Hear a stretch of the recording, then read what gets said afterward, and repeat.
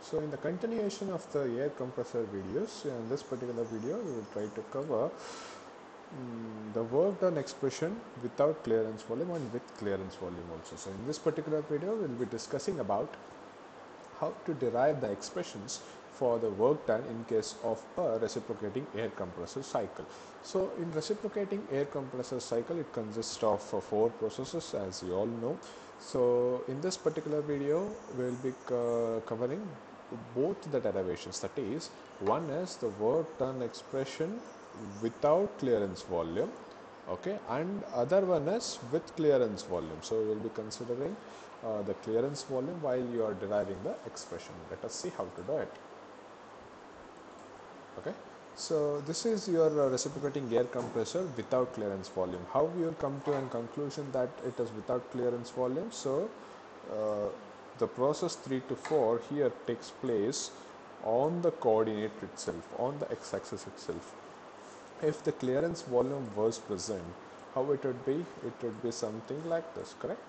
So the process would takes place a little bit away from the line it would takes place something little bit away from the coordinate. But here the process 3 to 4 is taking place on the coordinate line. There is absolutely no chance of VC to come into existence. So that is how this particular uh, PV diagram deals with uh, reciprocating air compressor working with has no clearance volume in it. Okay so work done in this particular expression not only in this cycle uh, work done can be calculated have so if there is a process something like this. Okay? If so there is a process like this. So there is a PV diagram of this particular thing here. Okay? So this is PV diagram. Now this is some process like this. Okay so you need to calculate what is work done in the, all this process. So from here to here okay and it goes on for for all the four process. How do you calculate? So in order to calculate the area of uh, in order to calculate the work done of such processes you need to calculate what is this particular area. Okay? So the area which enclosed within the PV diagram enclosed within the cycle that particular area gives you the work done. Okay that is how we'll calculate the work done. See you can even calculate your work done based on your general process formula. You have five processes it okay what are those five processes? Can you name it? Number one is isobaric and number two is isochoric and number three is isothermal four is adiabatic and 5 is your polytropic process is it? So you can use the work done expression which you have been learning since btd uh, to solve this particular thing also okay? So that is see here 4 to 1 process. 4 to 1 process is isobaric. You can use your isobaric work expression. And 1 to 2 depending upon the process it may takes place in polytropic way it may take place in a adiabatic way and it may take place in a isothermal way. It all depends on how you design your particular air compressor. So based on that particular process you can use the formulas for the workflows uh, to calculate the work done from 1 to 2 okay similarly 2 to 3 is your isobaric process. Again you can use the same formula. Isochoric process from 3 to 4 so work done would be 0 you can add all those to get the work done expressions also. But uh, on the other hand how we can calculate the work done in case of uh, any process any closed cycle uh, uh, process? So it is given by the area which is enclosed with the it so this is the which I am hatching it the green color right so that is the area where you need to calculate what is this total area to get your work done. Getting it? So that is the particular area you need to calculate. So let us see how will you calculate that area and eventually the work done of it. Okay? Now so the work done is given by area under this particular thing. So 1 2 3 4 and 1 so where is 1 2 3 4 1 here it is. It is 1 this is 2 this is 3 and this is 4 and 1 so you need to calculate the thing which is in the green color hatched green color okay? So that is given by area under 1 to 2 so what is area under 1 to 2 so I will mark it with a different color now okay so this is the total area under 1 to 2 okay? Uh, now this particular thing here is your total area under 1 to 2 correct? So it is this is the process from 1 to 2 this particular thing. So the area under 1 to 2 is this thing okay? Next area under 3 to 4 so where is 3 to 4 so here it is 3 to 4 so you need to calculate the area under it. So this is the process 3 to sorry what was that? Uh, 3 to 2 so 3 to 2 this one is the process and the whole area is this thing which I am hatching here. Okay. Okay. So all this area is your uh, total area. So in this particular area if you okay if you by any means if you could uh, delete this particular area you have to minus this particular area which I am shading now. So then you'll get the whole area from this this this and this correct? So you'll get this particular area. Hmm? so that is what he is doing now.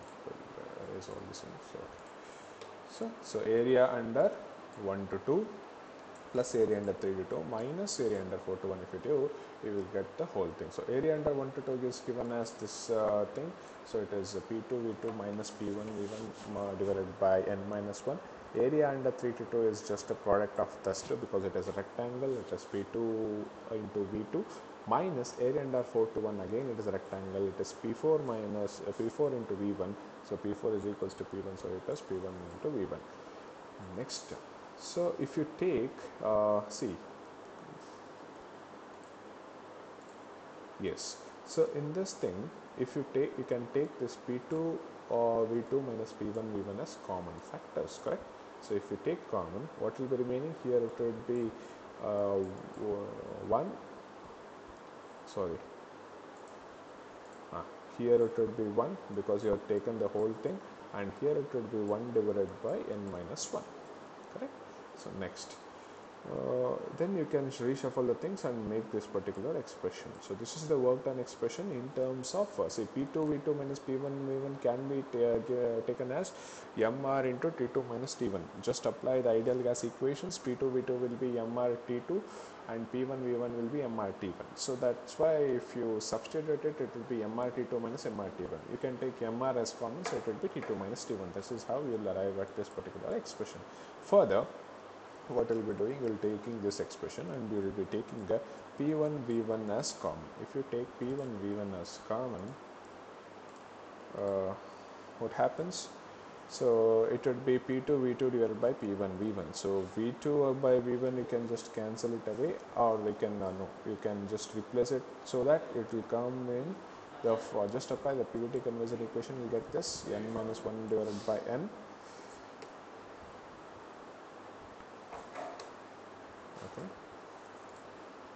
next. So what is p2 by p1 p2 by p1 is nothing but your rp so which is a, a pressure ratio. So just substitute the things you'll get there so p1 v1 can also be written as mrt1 so even this is the another form of your work done expression.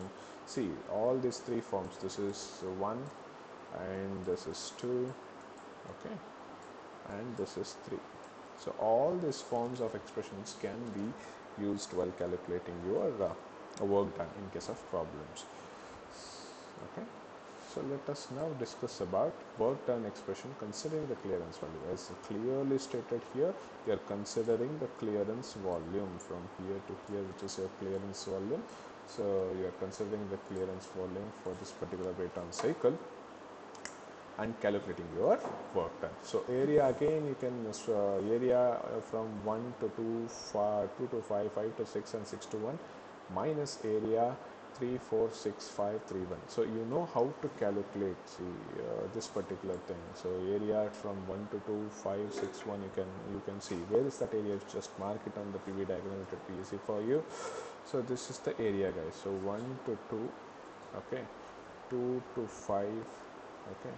5 to 6 and 6 to 1 so if you this is one area. I'm treating this as one uh, this thing reciprocating air compression cycle without clearance volume. You can apply that formula to get this expression.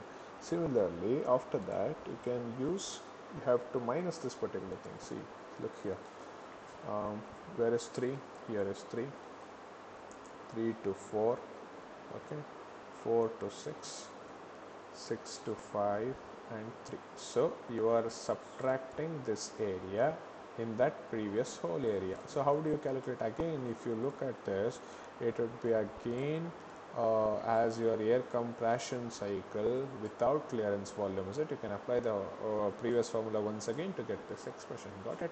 So this is how you will arrive at these two expressions uh, based upon the previous expressions what you have calculated so you can take the things common okay? V1 minus v4 would remain. P1 is common in both the things before. V4 is equals to p1 getting it? So p4 is equals to p1 here. Both are isobaric process. So p4 is equal to p1 okay? So rp everything is common now. After that what we'll be doing so v1 minus v4 what is v1 minus v4 here to here it is so v1 minus v4 is nothing but is your VES. So you can write VES. So P1 into VS can also be written as MA uh, T1 okay either of the ways you can you can use these two expressions which is your equation number 4 and your equation number 5 to calculate the work done in case of a reciprocating air compressor okay so this is all about the things you need to understand. When it comes with reciprocating air compressor